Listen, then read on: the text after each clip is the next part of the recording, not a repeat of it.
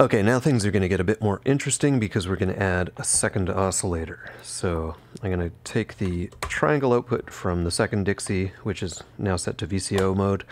Uh, we'll connect that to the Zeroscope and then to our VCA.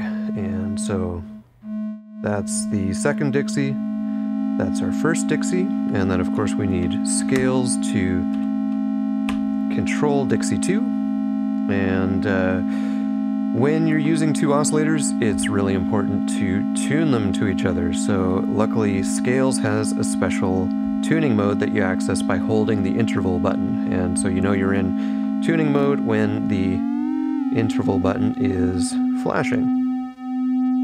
And uh, I'm going to use a bit of help from Zeroscope again.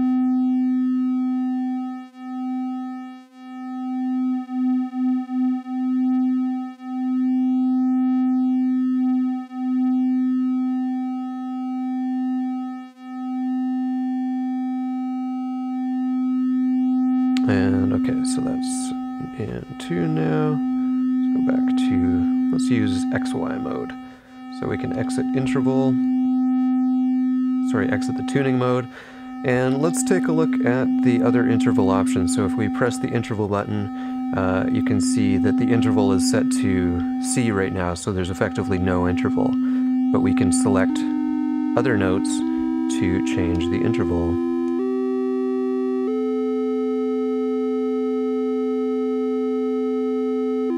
And if you press the button again, it will offset the interval downwards instead of upwards. So now out B is below, uh, so Dixie 2 is now below uh, the first Dixie. Your config settings, uh, the out B config settings specifically, will affect how your inter interval behaves. So right now it's set to chromatic.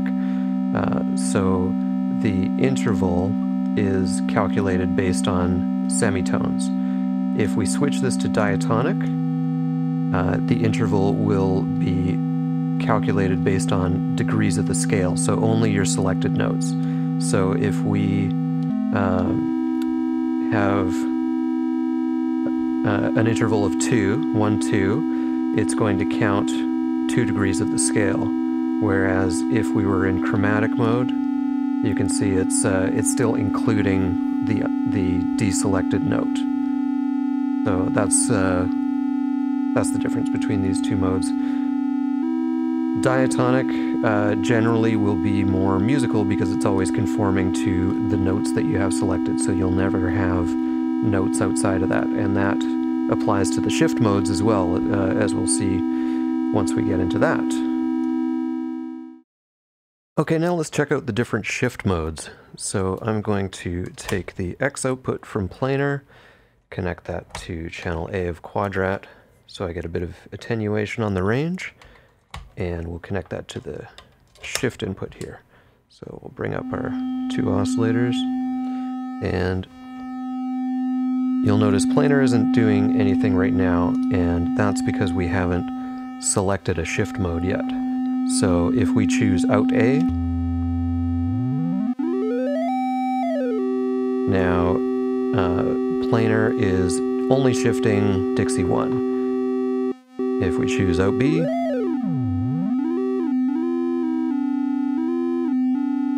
now it's only shifting uh, the second Dixie, and we can have both selected if we want. And we can combine this with any interval settings that we have.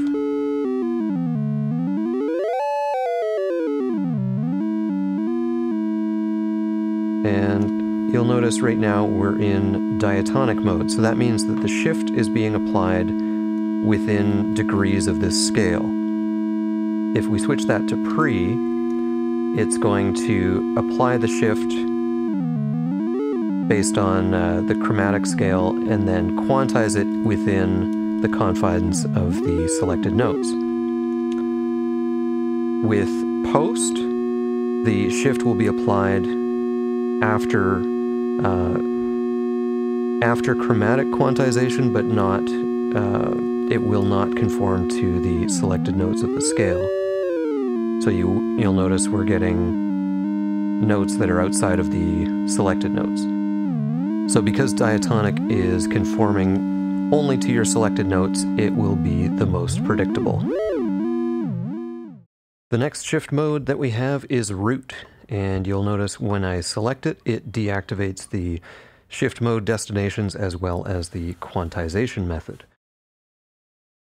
And so what shift mode root does is it transposes the root note of the scale via the shift input.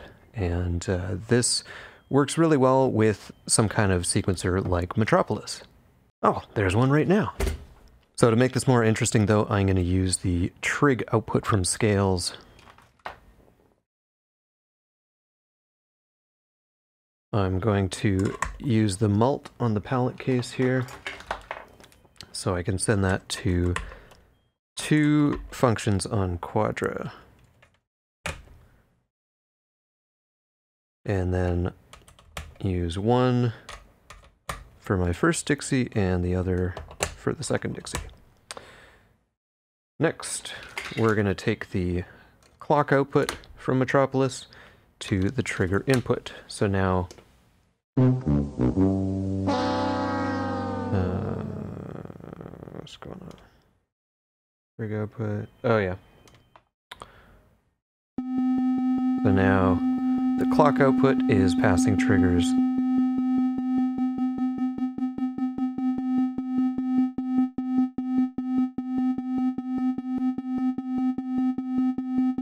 And so to make this more interesting, we're going to take the gate output, use that to trigger function 3 on Quadrax, and use that to the pitch input.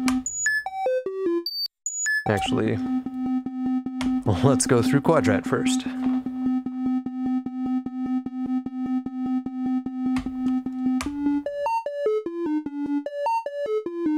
So now we have function 3 on Quadrax generating a melody via the pitch input. So that's pretty cool.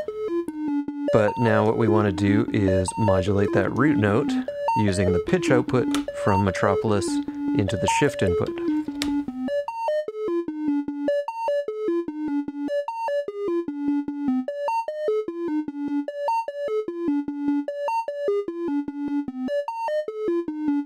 So we can change the notes that it gets shifted to.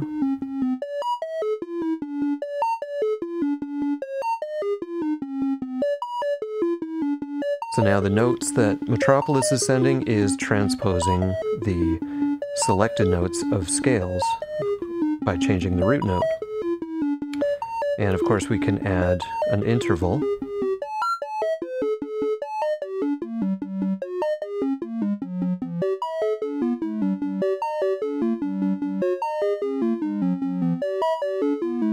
So this is a really powerful method to set up progressions in your melodies.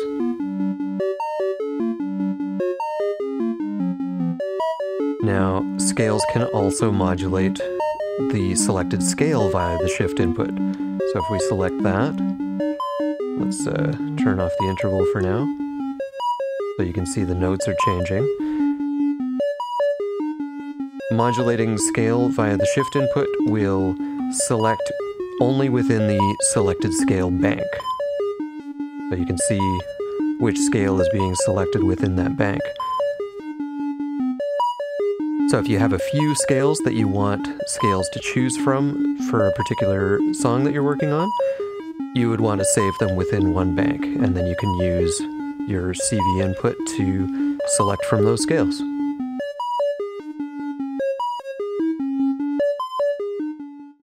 So the last thing to demonstrate in the config menu is dual mode. And what this does is lets you use the pitch and shift inputs as separate quantizers for the A and B outputs. So I have envelope 3 going into the pitch input. And then I have envelope 4 going into the shift input.